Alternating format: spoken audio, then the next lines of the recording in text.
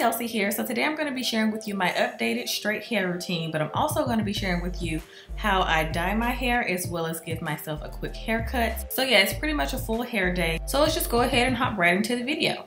Okay guys, so this is my hair before starting everything. So this is like a four day wash and go. This is like the fourth day of my wash and go. And as you can see, my hair has grown out a lot. I have not dyed my hair in almost over a year. So it was in desperate need of my favorite blue black color. So this is the color that I've been using for like the past two or three years. This is the Igora Royale. And I like to use the color 1-1 blue black. And I have to use about three boxes of this because I have a lot of hair. Here I'm adding the developer. This is the developer that I like to use. I use the 20 volume, but you can use 10 volume. You don't have to do 20 volume. I just like doing 20 because it brings out the blue in the black dye that I'm using. But if you're just using regular black dye, you can do 10 volume um, developer. So you wanna do equal parts of the developer. So however much color you have, you wanna almost have the exact same amount of developer. So as you can see here, I'm just adding a little bit more developer because you wanna make sure that it's nice and creamy, the consistency. So yeah, if it's a little too runny, that probably means you use too much developer. So just kind of eye it out and make sure you don't put too much developer. Do almost equal parts of the amount of color that you use. Usually it's easier if you have a scale to weigh your color, but I don't have a scale, so I have to rely on the eye. So I just like to section my hair in four different sections. This is the easiest way for me to maneuver through my hair before I dye it. Here I'm just using a little bit of Aquaphor on my edges so that I don't stain my skin. And I also like to apply this to my ears, the top of my ears, as well as my nape area because this will stain your skin because this is permanent dye that we are using. Also, I'm protecting my hands. I like to do two pair of gloves on each hand. These are from Sally's as well as this mixing bowl and the color, uh, what's the name of this thing? Yeah, the color brush. Um, so I like to start in the front. Pro tip, make sure you start in the front because if you are doing this at home and you run out of color and you're starting in the back, girl, you're gonna be screwed. So you might wanna start in the front. Also, I like to start in the front because that's the area you see the most. It's in front of my face. Um, so yeah, I like to start at the perimeter of each section. So I'll just apply the color around the entire section as you see. I just like to do this because it's easier to part when I actually start parting my hair with my fingers. See here, it's just easier if you apply the color on the perimeter before you start. I like to start from the back and work my way to the front of each quadrant. So I'm starting from the back because if I start from the front, I usually will have like color on my face so it's easier for me just to start in the back of each section and then work my way up.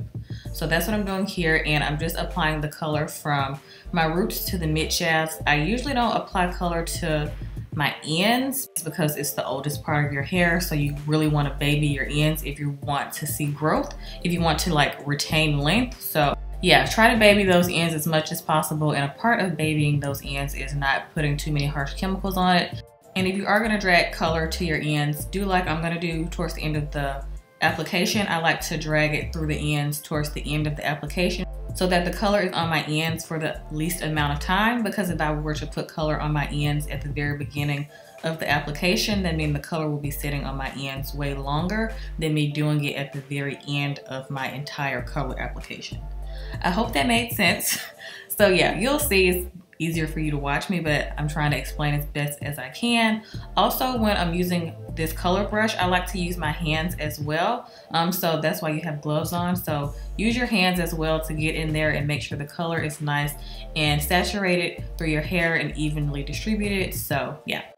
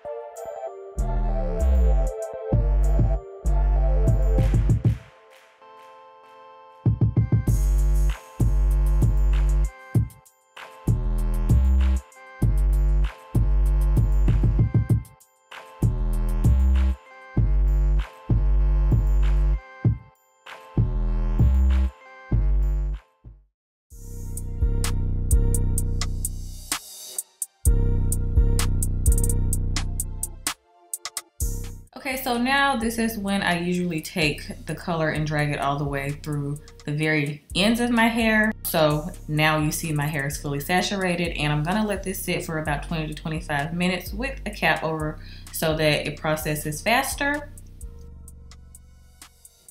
Okay, so after I'm done processing, of course, I'm gonna rinse out the color first before I go in and shampoo. So I just like to rinse until I no longer see a lot of blue in my shower. And I like to have gloves on while I do this because I don't want to stain my nails because in the past I have had that issue. So just wear gloves while you're washing out your color.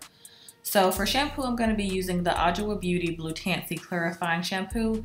And I'm obsessed with this shampoo. It's super gentle, but it also gets the job done of getting rid of any dirt oil or leftover color. But I also love this because it's safe for color treated hair, um, so it does not strip your color. Um, also, this is really good if you have damaged hair as well and you're trying to repair your hair. So I love using products that are multi-purpose. So I don't really like using shampoos that are just for cleansing. I want you to do a little bit more than just cleanse my hair. So this shampoo is really good for the actual integrity and health of your hair as well yeah, as you can see, I had a little bit of color left over. Um, so I like to shampoo twice just to make sure that my hair is not weighed down or greasy. So this shampoo did a really good job of clarifying my hair without stripping my hair. So in order to have a nice and pluck-in blowout, make sure your hair is nice and clean. So using like shampoos with too many oils in them, it's not gonna get you that, you know, hang time or like nice and silky blow dry and flat iron.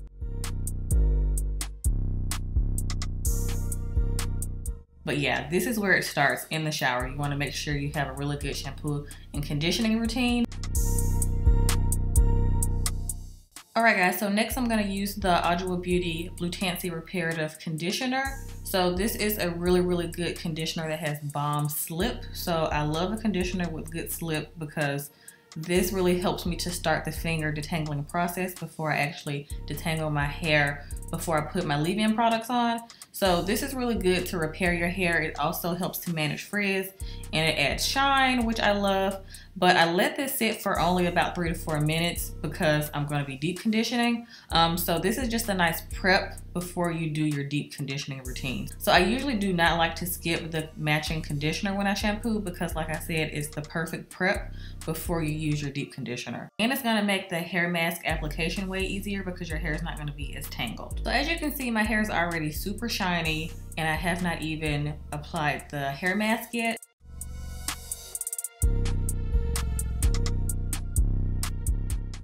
So now we're about to get ready to do my favorite part, which is apply my hair mask. Here I'm showing you guys what my hair looked like at the beginning of the video compared to now after I'm done applying my hair dye. Big difference. So this is the deep conditioner that I'm going to be using. This is the Adwoa Beauty Blue Tansy Reparative Mask. I'm obsessed with how thick this mask is. I love a thicky thick mask. So I like to put warm water in a spray bottle and spray it on my hair before applying my mask because this is gonna give you the best and deepest penetration for your hair mask. It's gonna penetrate way better into the hair shaft.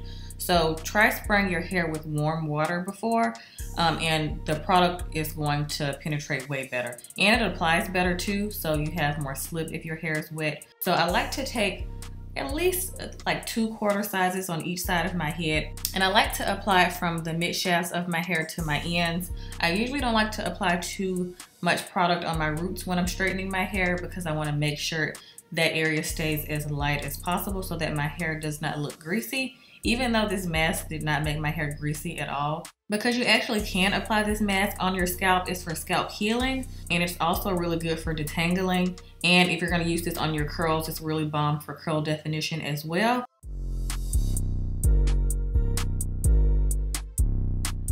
So whatever I have left over on my hands, I'll just take that and apply it near my roots so that I give that area some love.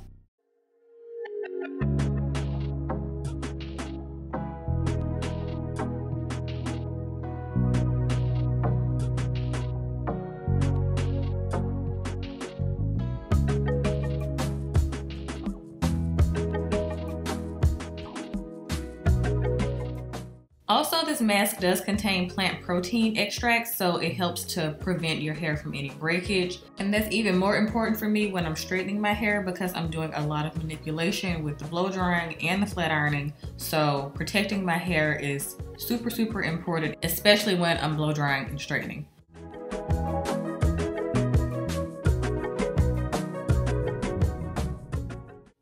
To use two shower caps. You guys have seen me do this before when I deep condition. I just feel like this makes my hair a lot softer and it's really helpful for deeper penetration, as well as using a beanie over top of that. And this also helps to protect my ears once I put this hot blow dryer attachment on my head. I've had this thing for years and I'm just gonna use my Dyson. And I like to use it on low heat, low speed, because if you do high speed, this thing is gonna go flying off your head. So I like to let this sit on my hair for about 20 to 30 minutes.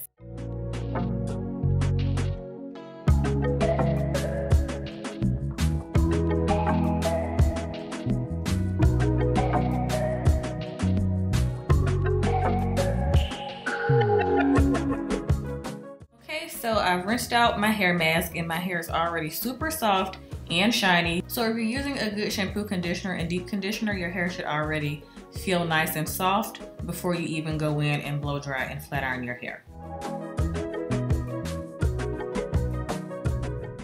So now I'm going to be using one of my OG products and this is the Redken Extreme Anti-Snap Treatment. This is an anti-breakage leave-in conditioning treatment and I've been using this for so freaking long. If you guys have seen my other hair routine, you know this. This is their new packaging, by the way. It's like in a spray bottle, and I really don't like that because I can't control the amount of product that I see going in my hair. So I prefer the squirt bottle that they used to have. So now I just use the spray bottle the same way. I just spray it into my hands because I like to see the amount of product going into my hair when using a leave-in product because usually if you use a spray product when blowing your hair out, you can probably use too much and your hair can probably end up being kind of greasy and weighed down. So I just prefer to spray my leave-in products in my hands because I have control over the amount of product going in my hair. But the Redken Anti-Snap is one of my favorite leave-ins to straighten my hair with because it is super lightweight. So it is kind of hard to spray too much of this, but I just prefer to spray it in my hands.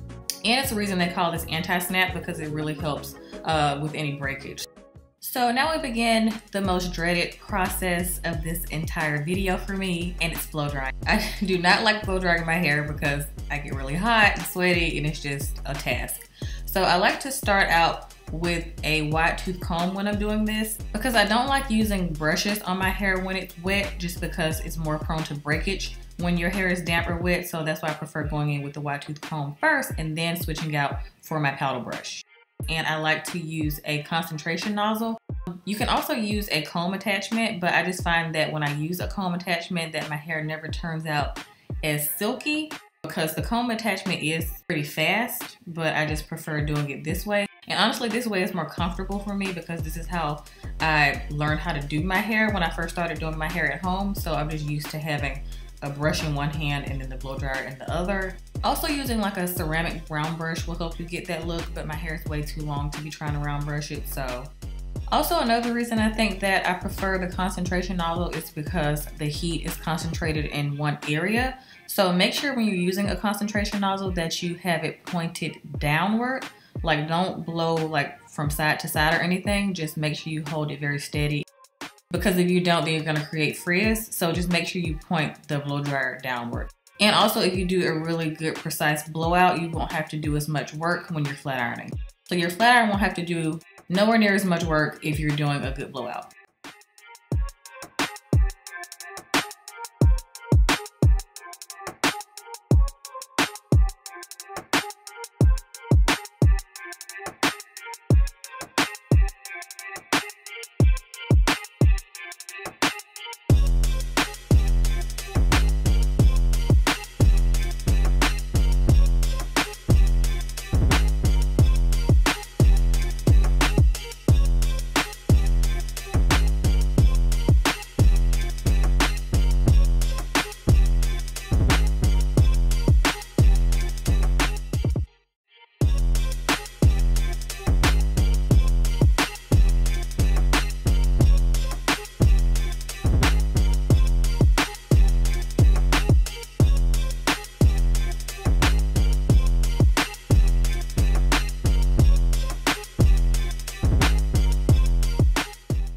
So next I'm going to be using the Adwoa Beauty Blue Tansy Treatment Serum. And this is a silicone-free treatment. So this is also a product that does a lot of things like reduce breakage and it protects your hair from heat damage. So that's why I'm using this like as a heat protectant because it protects from heat. Also helps fight against frizz.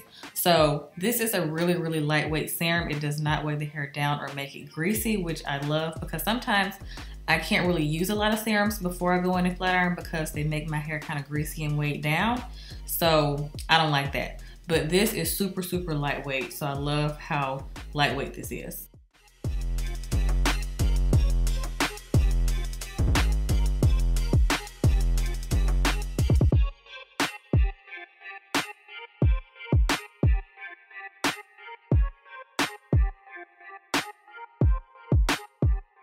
Okay, so now I'm all done sectioning my hair off before I go in and flat iron. Uh, this is a very strenuous process, which is why I only do it like once a month during the fall and winter months because it takes too long. So now I'm just gonna take this old but tried and true bristle brush from Goody that I got years and years ago from Walmart. This brush has been with me everywhere from when I moved out all the way to now. So this brush has lasted me for a very long time. I think it's over 10 years old. I just prefer using a bristle brush when I'm flat ironing to do my chasing method versus a comb because I find that my hair is way more silky when I use the bristle brush because the bristle brush has way more bristles than the comb has teeth, if that makes sense. So yeah, that's why I prefer using a bristle brush to do the chasing method. And I usually never go over each piece more than two times. So I go over my roots a few times and then I'll drag it through the rest of my hair once or twice.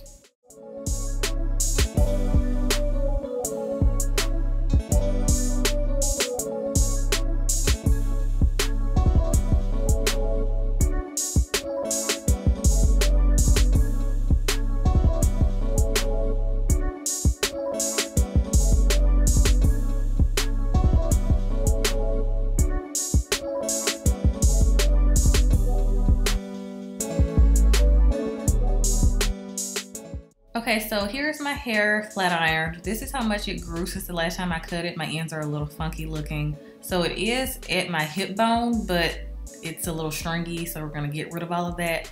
Um, so I like to trim my hair at least once or twice a year, but my ends look very bad because I have not actually given myself a proper trim in a, over a year. So this is why I'm having to cut so much off. So this is why you get your trims, people. So I took off about three and a half inches. It doesn't look like that on camera, but it was about three and a half inches.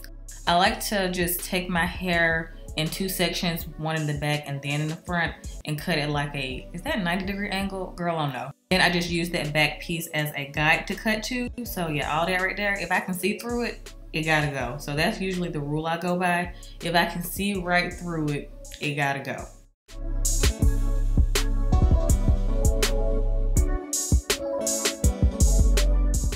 So here you can see the difference. I think I missed a little bit of a piece right there on the right side. Well, your left, my right. Um, so yeah, I'm cutting to that point. You see how much movement this side has?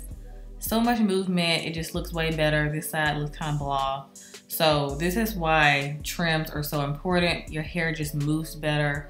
It looks healthier, it feels healthier. I'm telling y'all, my hair feels amazing. So this haircut was just like a nice reset for me, like a reset button. Um, so I also trimmed a little bit off my front pieces just so that they were as close and as even as possible with the back because I don't really have layers anymore. I feel that layers makes your hair look thinner, so I prefer one length. Um, so yeah. So yeah, I took a lot more off than I usually would have because like I said, I give myself a trim like twice a year, but I did it last year. So just learn from me, when you're not getting your trims, you have to get a haircut but my hair looks so much better. And like I said, it feels amazing. I mean, look at this. What? Y'all, see that shine? You see that bounce and movement? So yeah, that pretty much wraps up this video. I hope you guys enjoyed it. I will have a full list of all the products and tools that I used in today's video in the description box. So yeah, I'll see y'all next time.